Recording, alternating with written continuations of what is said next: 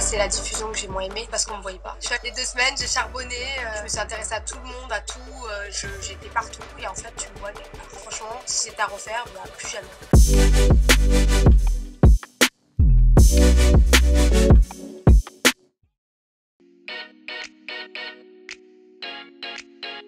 Ah, pas du tout. Ah non, le reste du monde, c'est ma famille, on a gagné en plus. Alors là, euh, vraiment pas quoi.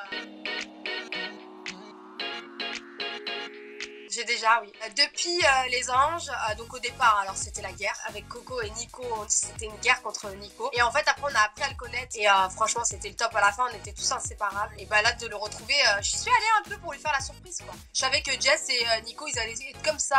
ils s'y attendaient pas. Et donc, du coup, j'y suis retournée parce que je savais que ça allait être marrant. Quand j'ai vu que Laura était enceinte, j'étais trop Je pense qu'il avait besoin de ça. Nico, c'est un grand bébé. Il aime pas s'ennuyer. Il a besoin de nouvelles choses dans sa vie. Et là, alors ça, son fils, je pense que ça tombe à, à. Ouais, c'était cool. J'ai beaucoup aimé d'être là-bas. Après, c'est la diffusion que j'ai moins aimé parce qu'on me voyait pas. Je suis allée deux semaines, j'ai charbonné, euh, je me suis intéressée à tout le monde, à tout. euh, J'étais partout et en fait, tu me vois nulle part. Tu vois une fois crier comme un putois sur Greg, une fois euh, me disputer, mais c'est tout. Ouais, Mélanie Dacruz revient à la télé, comeback, yeah Tu me vois descendre du van avec ma robe marron et mes chaussures.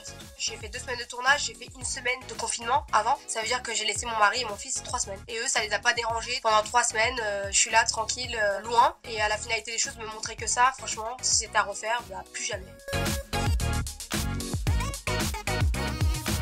J'ai déjà, oui, euh, je la connaissais déjà d'avant, ça fait 5 ans. Je l'ai connue à ma sortie de Secret Story. Et euh, après, bah là, forcément, on a passé plus de temps ensemble que quand euh, je la vois. D'habitude, c'est quand je vais en vacances à Dubaï ou autre. Dubaï, j'aime beaucoup, c'est top. Mais euh, moi, je suis plus. euh, demain, tu me demandes Dubaï ou aller vivre euh, sur une île, je vais sur l'île. Parce que Dubaï, c'est top, attention. hein, le service, il n'y a rien de tel, la mentalité, elle est top. Mais moi, si j'étais à Dubaï, déjà, je dépenserais tout mon argent pour commencer. Et non, je préférerais vivre en Guadeloupe, par exemple. Cocotier, en claquettes, euh, enfin voilà. J'échangerais mes claquettes Hermès de Dubaï à mes Havaianas en Guadeloupe.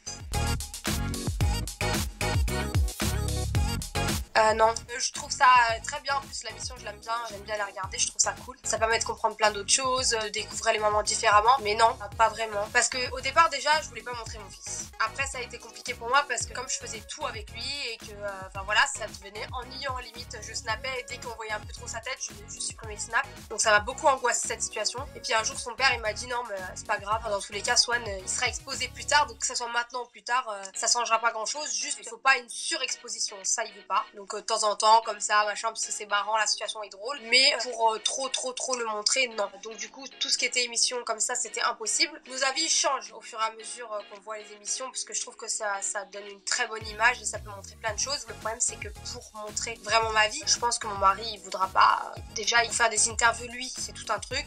Alors si euh, je dois le faire filmer et qu'il s'exprime sur un sujet, ça va le saouler. Donc euh, ça serait pas la réalité, quoi.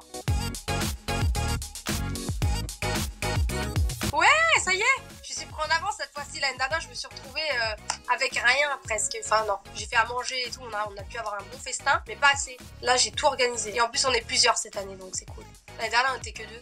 Parce qu'en en fait, il avait match le lendemain. Donc, euh, il y avait rien à faire, quoi.